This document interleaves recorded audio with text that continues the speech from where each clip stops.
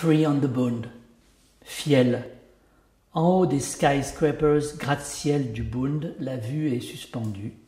Avant, juste avant le crépuscule et l'ombre, la cloche égrène les heures, Big Ben asiatique.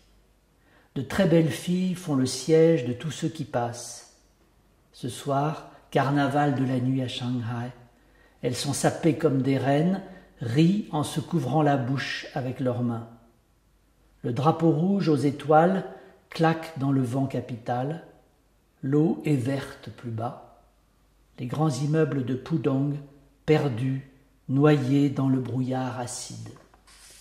Le jaloux a frappé la fille, sa copine, d'un uppercut en plein visage. Son nez saigne, ça pisse le blode. T'approches pas d'elle. Il tombe sur l'autre, le roux de cou, lui casse sa petite gueule de pédé dragueur. On cherche à les séparer. La police arrive, on s'évapore, prend la tangente. Poison de l'amour. Une histoire de tromperie. Les Chinois de l'Empire sont au bord du gouffre. Le fleuve est obstrué. Des centaines de bateaux utiles chargés à rabord, transportant, charriant, cargaisons et flottements d'une rive à l'autre, jusqu'au port, et plus loin vers le monde, au-delà des étangs. L'air au-dessus de nous ce matin est jaune, les yeux piquent. Il serait dommage de mourir asphyxié. Sur le Yangtze, la croisière ne s'amuse pas. À chaque tour d'hélice, constate l'inanité des chaos de l'esprit. Ici, toutes les montagnes se couvrent de gratte-ciel. Les talus de terre au bord du fleuve abritent des bateaux en construction, couleur de rouille et de malheur.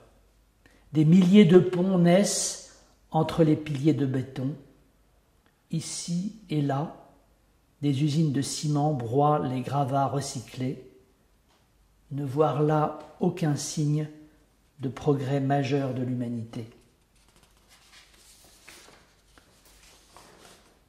Écrire sur ce pays aux mille cargos qui peinent à contre-courant sous une pluie battante. Il n'y aura plus d'oxygène, L'éclatement se fera petit à petit comme le sac d'une fourmilière par un enfant respectueux des démons.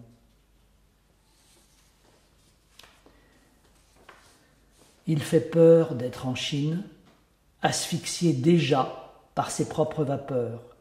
Le peuple du milieu achète des numéros à la loterie, obsédé d'apporter le bien-être. Les fumées montent pour faire honneur au céleste, qui ne s'offusque pas, désormais, du savoir-faire sans limite de ceux du bas. Si l'absolu du monde réside dans l'activité fébrile, la pollution est un hommage au ciel.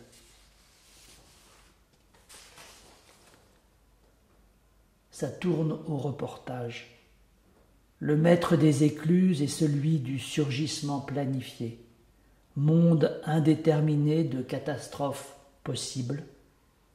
Les notonniers nus ne tireront plus jamais dans les rapides les bateaux sur le bord. Il n'y a plus de courant ni de banquettes rocheuses. Simplement des talus de terre rouge dessinés par des engins de terrassement. Le maître des déplacements furtifs sur l'eau plate du monde sans remous ni désir, les rameurs ne sont plus. Dans les encombrements, sur l'autoroute Dazu-Chongqing, ça ne bouge pas. French ouverture de bac, Glenn Gould dans le casque, de gros camions rouges couchés du soleil, il fait beau sur le Shanxi. Jean-Sébastien convient parfaitement à ce moment de folie qu'il tempère. Sur le flanc qui subsiste de la montagne, déchirée par quatre voies, une briqueterie à l'arrêt, cheminée sèche. Il n'est plus l'heure de cuire la terre. Devant nous, une puissante BMW bleu acier numéro de plaque 88W81, immatriculé en Chine, patiente avec cinq costauds à son bord, bronzés. Reban vissé sur le front, tout à l'heure à la station d'essence, il fumait démonstrativement devant nous. Le boss est assis à droite à la place du mort, ventre de puissant triadiste. Les grues dessinent dans le ciel des signes incertains sur l'avenir. Tout à l'heure, un camion bleu a percuté un scooter. Tout le monde s'est précipité pour passer à gauche et à droite, évitant l'accident qui a occasionné un bouchon total. Les Chinois du Changchi conduisent des 16 tonnes comme si c'était des bicyclettes. Encore la faute de la bande des quatre, Mao n'aurait jamais laissé faire ça. L'assassinat des moineaux friquets, moustiques, rats, mouches, j'en passe et des meilleurs, n'a pas éradiqué l'épaisseur humaine des habitants de la Chine.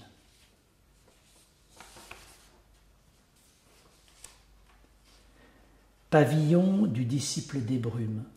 Deux heures de l'après-midi, personne.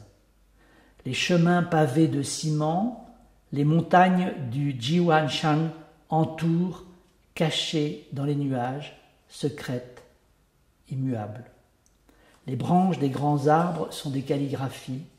On entend le vent dans les pins, les oiseaux chantent, les ailes gorgées de pluie.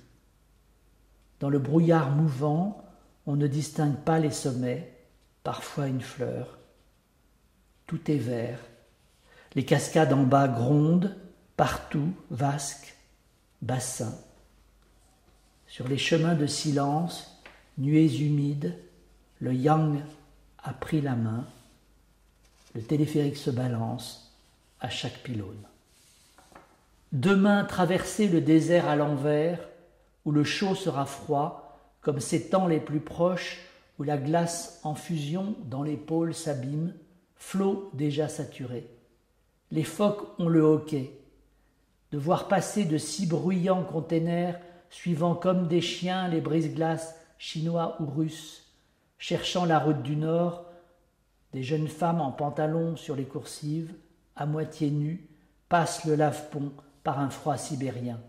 Nous avons tous les outils pour accéder à l'apocalypse la plus sale. Question n'est pas quand, mais comment? L'Empire rouge a de puissantes raisons de craindre.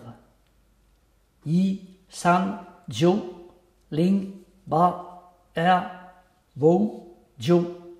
Yi, San, Jiu, Ling, Ba, Er, Wu, Jiu, San, Er, Ba ce sont ces chiffres-là inscrits sur un barriquier gris qui prenait son anneau, des chiffres de torture. Passé vingt-cinq siècles, le temps ne compte plus. Ainsi, les concubines du marquis de Yi nous semblent si proches. Dans le jardin du maître des filets, le lien appelle l'esprit, tout doucement disparu, vidé, mais revenant par réfraction. Fidèle, le peintre n'a pas quitté la place, son bureau de bois ferme l'attend. Le coq, sur la grande péniche, chante tard. Matin couvert, nuages lourds, tentative de désolidariser la pesanteur de l'esprit.